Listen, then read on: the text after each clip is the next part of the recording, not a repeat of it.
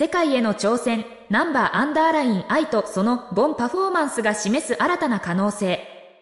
ナンバーアンダーライン愛というグループがボンという楽曲を披露した瞬間、日本中が衝撃に包まれました。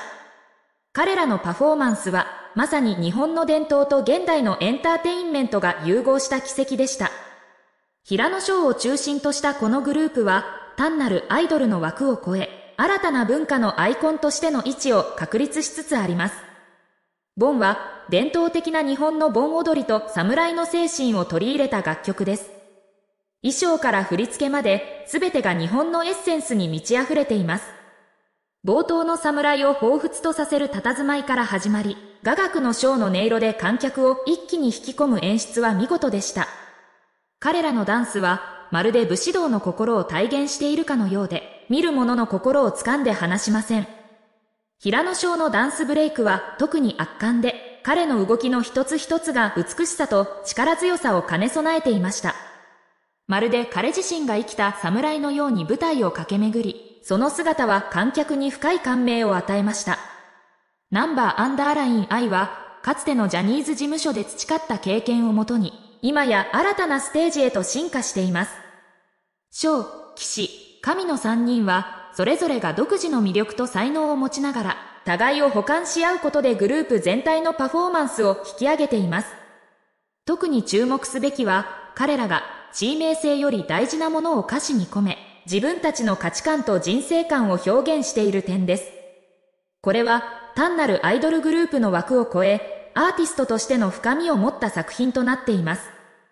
彼らは芸能界の枠にとらわれることなく自由に創作活動を行うことでより多くのファンを魅了しています。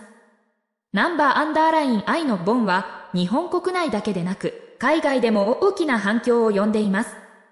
日本の伝統文化を取り入れた彼らのパフォーマンスは外国人にも新鮮で興味深いものとして受け入れられています。実際、多くの海外ファンが彼らのパフォーマンスに感動し、SNS を通じてその魅力を広めています。彼らの次なる挑戦は、さらなる国際的な舞台です。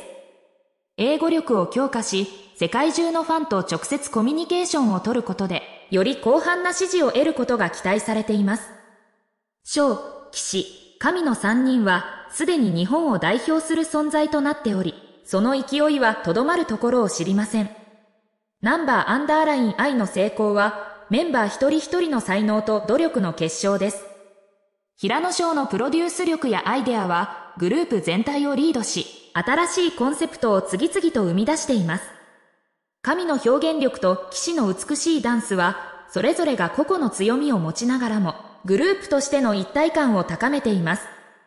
また、彼らのパフォーマンスは、単にダンスや歌だけではなく、その裏にあるストーリーやメッセージが観客に深い感銘を与えます。彼らの楽曲、ボンは、その象徴とも言える作品であり、日本の伝統と現代の感性が見事に融合しています。ナンバーアンダーライン愛の成功の背後には、熱心なファンの存在があります。ファンは、彼らの成長と挑戦を見守り、常に応援し続けています。その絆は非常に強固であり、彼らのパフォーマンスに対する反応も熱狂的です。ファンは彼らの成功を自分のことのように喜び、SNS やイベントを通じて彼らをサポートしています。これからのナンバーアンダーライン愛には、さらなる成長と挑戦が待ち受けています。彼らの才能と努力、そしてファンの支えがあれば、どんな困難も乗り越えていけるでしょう。彼らの未来は明るく、これからも多くの人々を魅了し続けることでしょう。ナンバーアンダーライン愛とその楽曲、ボンは単なるエンターテインメントの枠を超え、日本の文化と現代の音楽シーンを融合させた新たな挑戦の象徴です。彼らのパフォーマンスは観客に深い感銘を与え、日本のみならず世界中で高く評価されています。彼らの成功は日本のエンターテインメント界に新たな風を吹き込み、未来への可能性を広げる一歩となるでしょう。あなたもぜひ、ナンバーアンダーライン愛のボンを体験し、その魅力に触れてみてください。彼らの未来に期待し、応援することで、さらなる驚きと感動を共有できることでしょう。そして、最後に一つの問いかけを。ナンバーアンダーライン I が次に挑戦するステージはどこなのか？彼らの未来に目を離せません。ナンバーアンダーライン I の活動は日本の伝統文化を現代に再解釈し、世界に発信するという点で極めて重要です。彼らは単なるエンターテイナーではなく、新しい文化の創造者としての役割を担っています。例えば、盆における盆踊りや侍の要素は、現代のポップカルチャーに新たな命を吹き込みました。このような試みは、日本の伝統を守るだけでなく、それを進化させるものです。彼らの楽曲やパフォーマンスは、若い世代に日本の文化を再認識させるきっかけとなり、さらには海外の人々にも日本の魅力を伝えることができます。ナンバーアンダーライン I の次なる目標は、国際市場での成功です。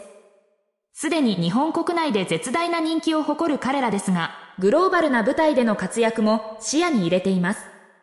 これは彼らのパフォーマンスが言葉の壁を越え、視覚的に訴えかける力を持っているからこそ可能です。